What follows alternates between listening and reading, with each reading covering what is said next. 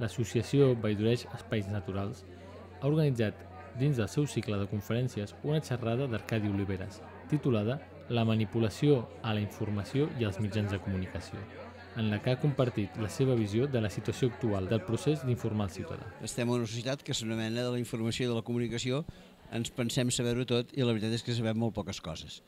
Aleshores el que intentaré és, en primer lloc, exemplificar de quina manera la informació que rebem està allunyada de la realitat i posaré alguns casos concrets en què se'ns diuen unes coses que no és que siguin incertes, però que només són parcialment certes, mitges veritats, notícies manipulades. En posaré alguns exemples. Després, un cop vist això, aleshores em dedicaré a explicar per què els grans mitjans de vegades tenen ganes d'enganyar-nos i aleshores fer referència a que els grans mitjans, més que en el públic, obeeixen als seus propietaris, obeeixen als seus anunciants i evidentment aleshores ens expliquen coses que no sempre són més interessants.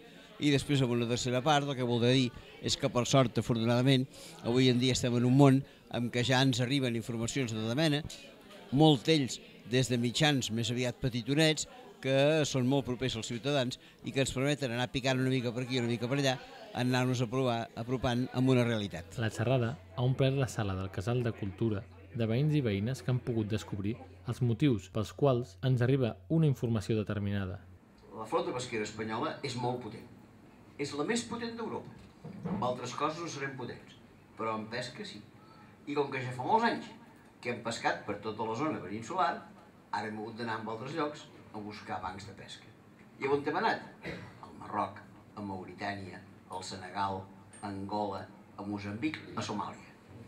I què hem fet?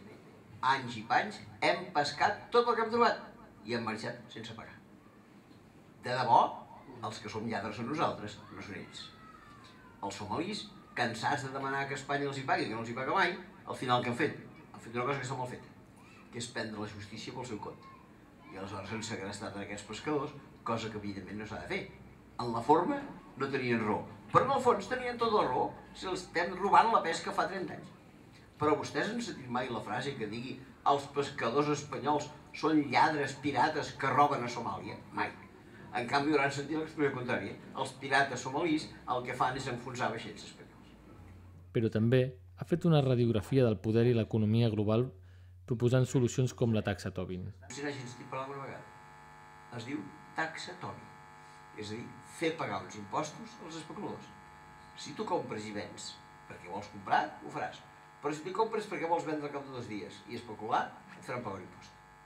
Amb això estava estudiat perquè el senyor Tobin, que era Premi Nobel d'Economia, que es podria frenar al màxim l'especulació.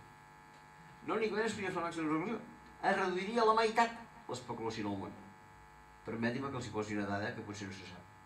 Els moviments de diners especulatius en el món són 50 vegades més importants que els moviments de diners que hi ha en el món per comprar i vendre En lloc que la gent mou d'un país a l'altre per especular, és 50 vegades més quantitat de diner que el que es mou d'un país a l'altre per comprar. Si fem pagar un 1 per 1.000, un 1 per 1.000, a cada operació especulativa, calculo que l'especulació quedarà reduïda a la meitat. Perquè aquesta especulació fa amb uns marges tan petitonets que la que te li menges l'1 per 1.000 ja deixa de ser interessant.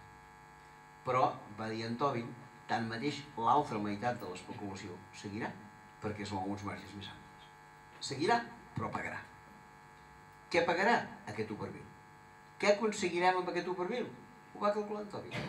Cada any aconseguirem una quantitat de diners que permetria eliminar anualment quatre vegades la fam en el món.